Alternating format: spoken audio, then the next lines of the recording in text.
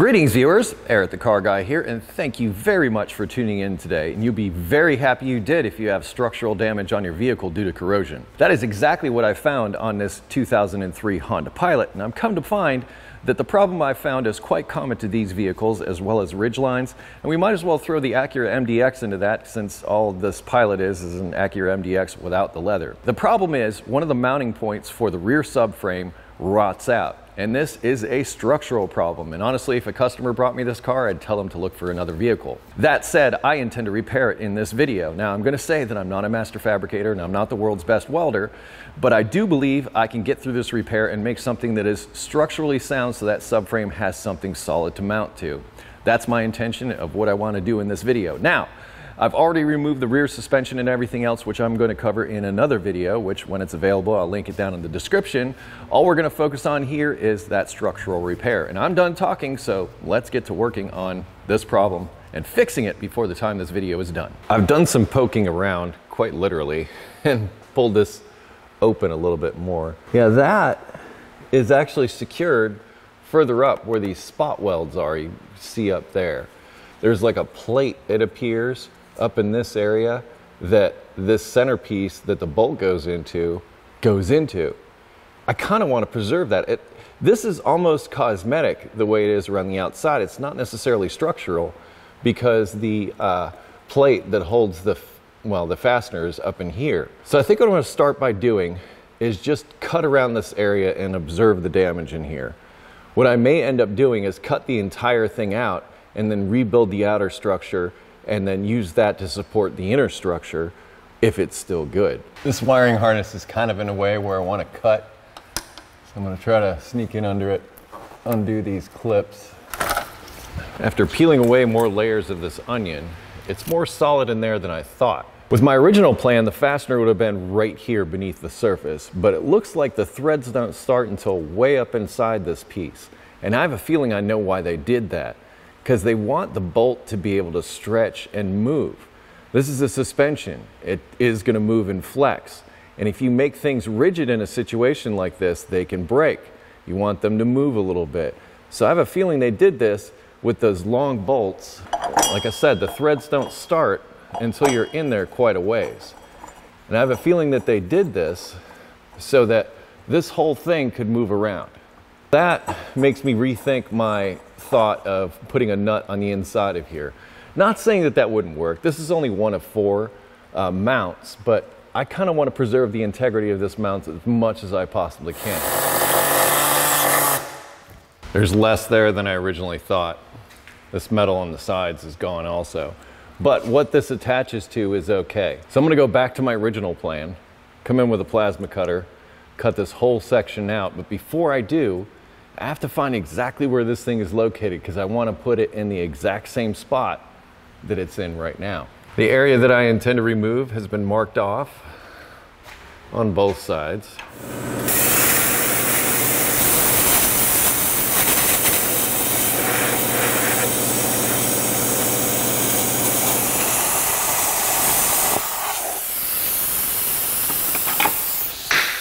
Here's the piece that I cut out still a little warm. I think I'm gonna have to harvest this and uh, start over from scratch. And it has this big boss on the back of it, which is kind of nice. Looks like it was welded onto that, hoping to duplicate the same things. Here's the bit I'm left with. I'm gonna go over and clean this up, round it off, flatten out this base because it's going to go through the next piece of metal and get welded to it. Uh, similar to what it was here, but it's going to sit up a little bit higher. Don't care because I'm rebuilding its mount.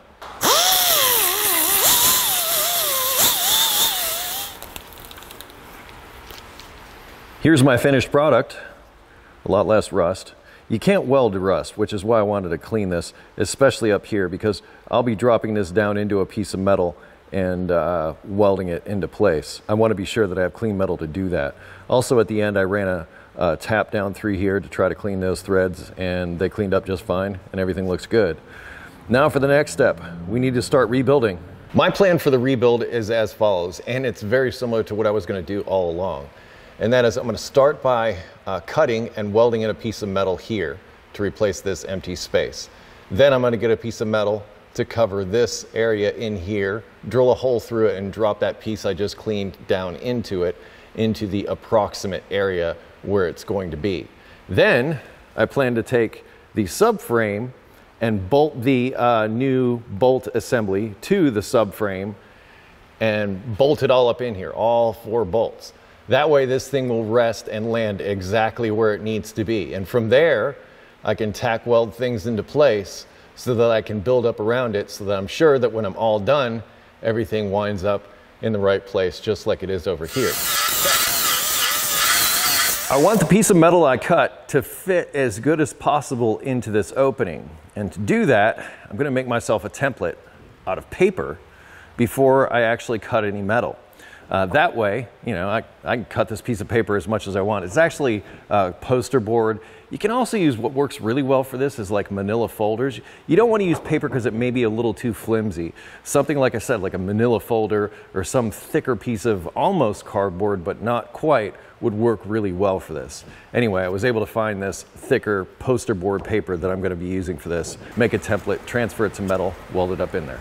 This is my crude drawing of a square. Since I traced along the inside, I'm gonna cut along the outside. Let's see if it fits. It's a little big, so I'm gonna trim that one side down. I can live with that. I have a piece of 16 gauge steel here that I'm gonna transfer this uh, template over to, and that's what I'll be using for my repairs. I went to the uh, metal store, went through their scrap pile and found this. You can actually save a lot of money doing it that way rather than having them cut it specifically for you. Once again, I think I'm gonna employ the plasma cutter to do this.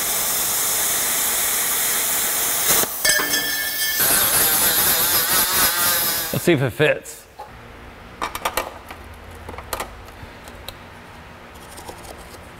That should give me something to trim down to. I'd rather have it too big and work my way into it than the other way around. And here's my finished piece. I've got it all cleaned up. Clean metal for welding. Everything seems to fit flush.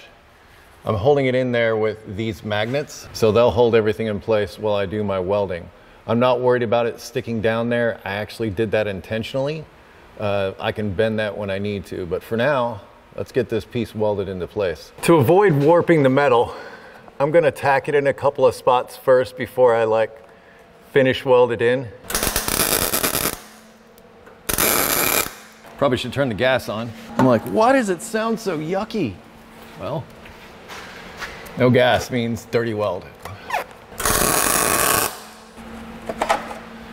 No need to overheat my magnets.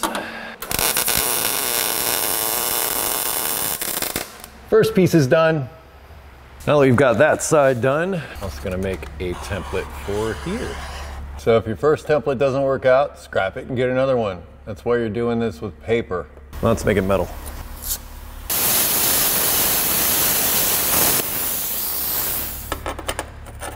Finally got it into position. I'm not welding this piece in. This will be the last piece I weld in. But I need this so that I can measure what's going on on the inside because that is where I'm gonna place this guy. Now I wanna make the thing that this bolt goes into. So it's got to sit down in there like that. So I need a flat piece that I can drill a hole in that this can set into that fits in between here. It's probably the straightest piece we'll cut. So I need to measure this opening to decide what size, just under three and three quarter. This doesn't have to be exact, but I'm gonna call this five. And yes, I made a paper template for this one too. Looks ideal. First thing I wanna do here is take this rough edge and make it a straight line. Um, I just broke, this is the same end I've been cutting off of, and I just broke off those pieces that were sticking out.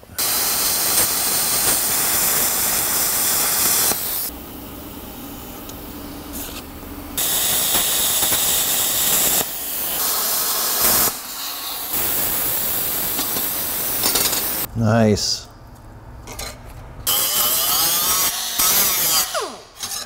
Let's see how this guy fits.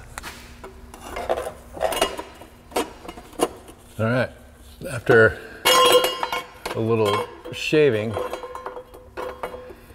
I've got this guy right where I want it. There's another way that I can verify my center.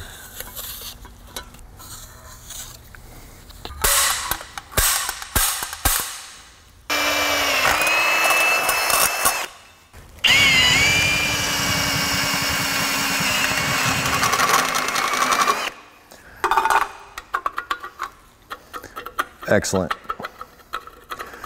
So that's just tight enough, but it gives me some leeway so that I can position this exactly where I want it. And that's why I'm expending all this effort. That's our new part.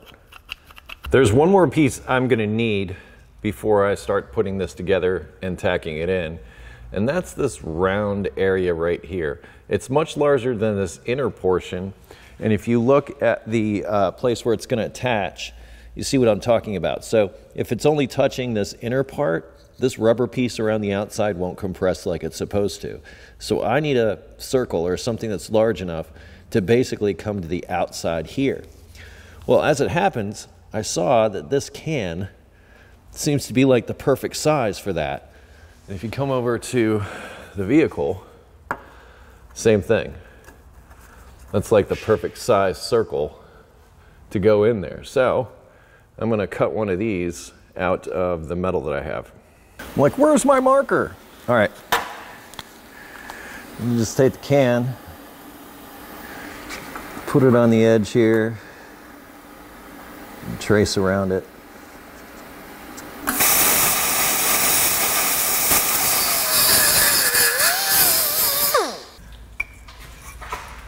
Oh yeah, I think that'll work nicely. Now I need to make a hole similar to what I have here in here so that the bolt can pass through it.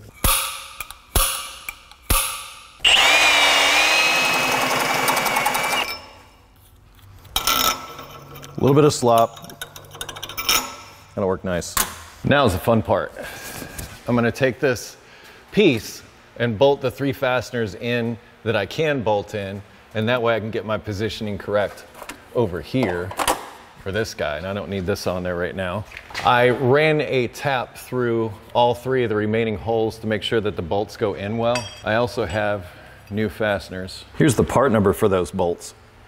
Uh, because I ruined one of them and I said, you know, what the heck, I'll just get four of them and we'll have all new ones.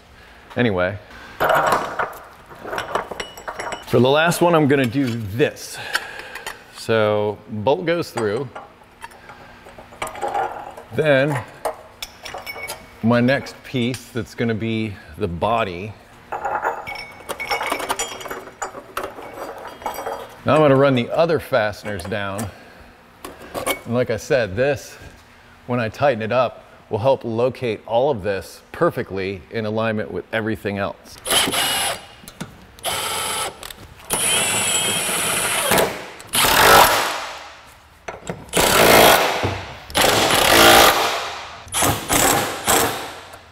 Feels like it needs to come up just a little bit more.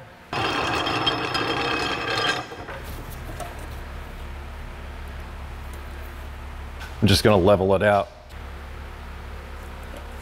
I'm gonna call it right there. So this is the reason why I wanted slop in here so that this could be positioned correctly. Now the plan is to tack all this in, take this back out, finish weld it in, and then make braces to come down the sides. One last check to make sure it's all in position. It's not gonna get any better.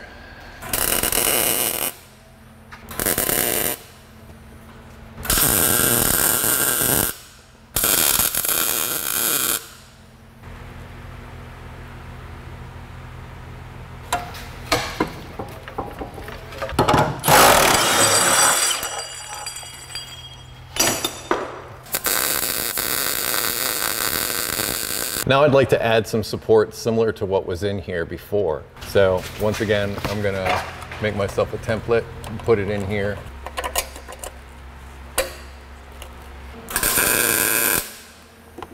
Oh yeah, that took a lot of that wiggle away and it's only tacked in and it's only half. Good idea to put the support in. I'm actually gonna cut and get this piece ready first before I finish weld everything. And then I'm gonna do all that all at once.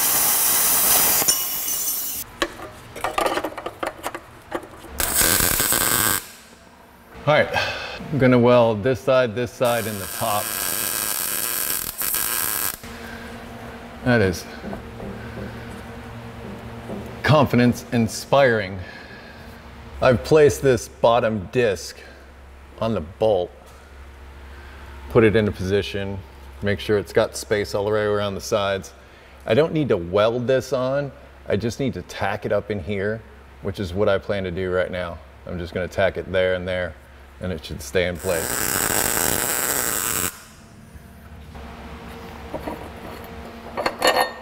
Now that all this is pretty much there, I think it's time to weld, well, wrong way, weld this piece in. And then we can fill in this hole in the bottom. Now I'll weld what I can on the inside to secure that piece.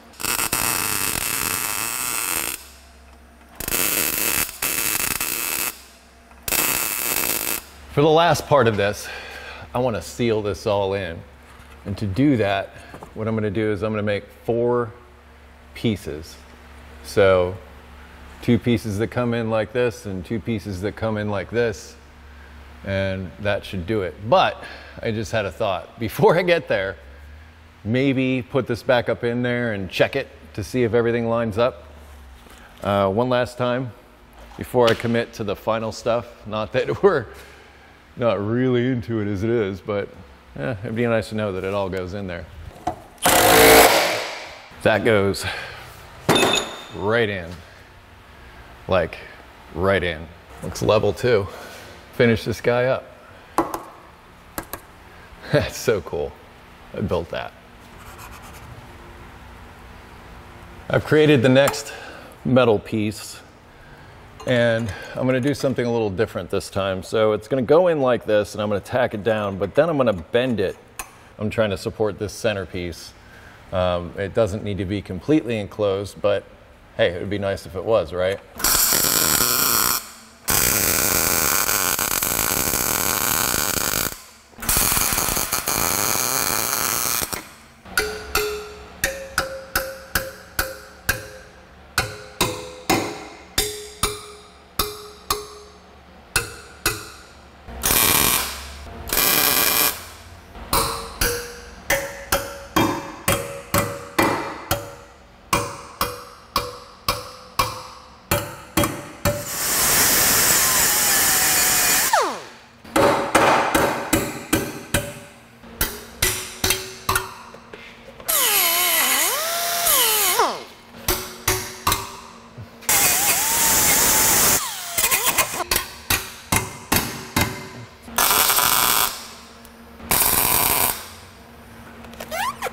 My vision is coming together nicely. I will come back. What I did was you saw me like hammer this flat and I always intended to do that. That's why I left it hanging down a little bit.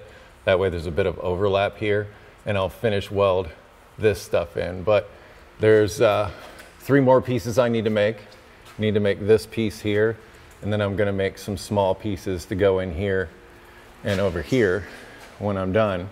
And that should complete it.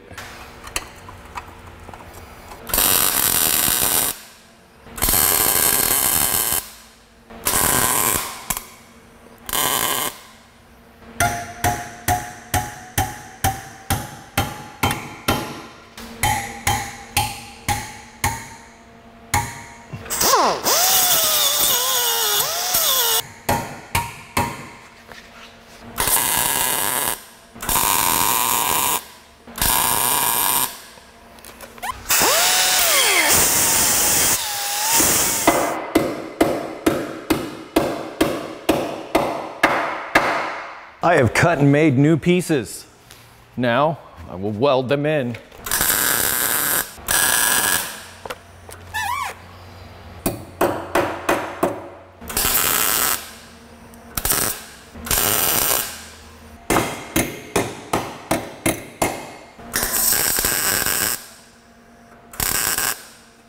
That is all the pieces. Now they just need to be finished welded.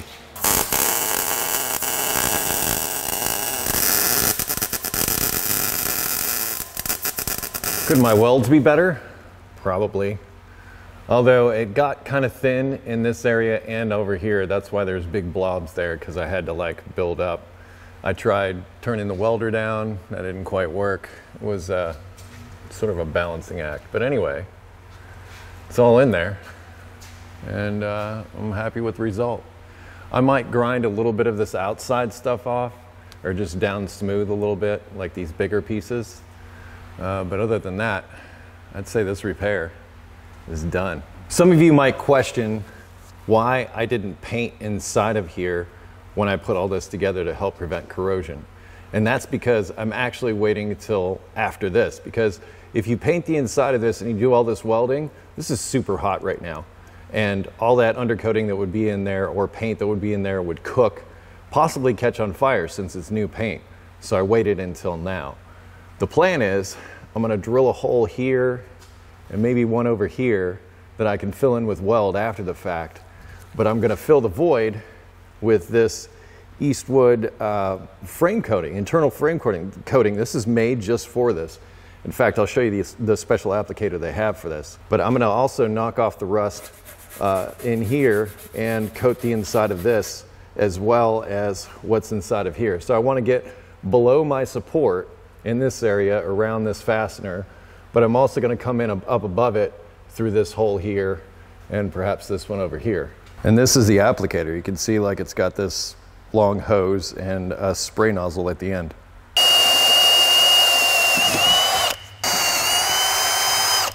Oh yeah, that'll go in there nicely. Things have been wire brushed. The can has been vigorously shook for some time.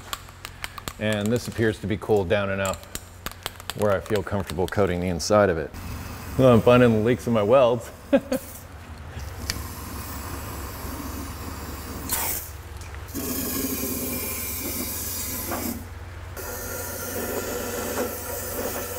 this works good.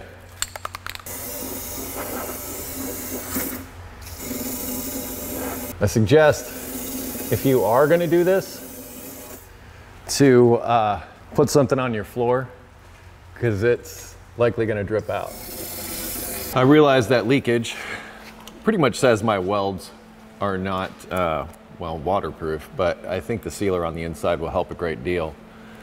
I, I still want to go in and uh, fill in these holes that I made. I thought about drain holes, but drain holes are also access points for stuff to get in there. So it's like, yeah, yeah, so I'm just gonna fill in these holes, paint over the whole thing.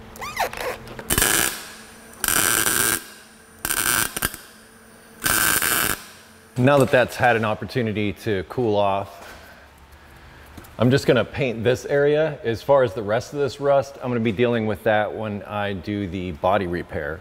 But as far as what I'm covering here, I'm just gonna put a coat of paint over the top of this to finish this off. And in case you were wondering, I'm using uh, Eastwood's chassis black. I will link it in the description. Well, viewers, I'm going to conclude this video here about the structural repair of my 2003 Honda Pilot, also known as the Hack Hawk. And I hope this video gave you some insight into the kind of things you may have to do in order to repair the structure on a vehicle like this. It's pretty involved, it's pretty intense. In fact, if a customer brought me this vehicle, I would say, you know what? I think it's time for you to look for a new vehicle because of the time and effort that goes into this. That's all labor. I didn't have to pay myself to do this, but if you had to pay somebody to do this work, I would guarantee it would far exceed the cost of a 2003 Honda Pilot at the very least. Anyway, if you have this kind of issue, consider it carefully. If you're going to repair it yourself, well, I hope the things that you saw in this video gave you some ideas and some insight on how to do that. I will put links in the description to parts, tools, additional information, all of that, so check the description for additional information. Also, a link to ericthecarguy.com will be there for any of you that have questions that weren't covered in the scope of this video.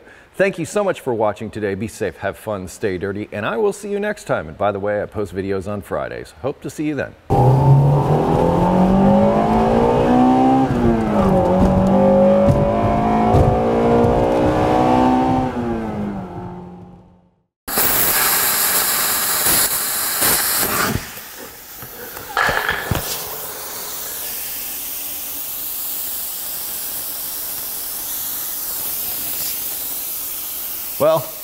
I don't recommend that.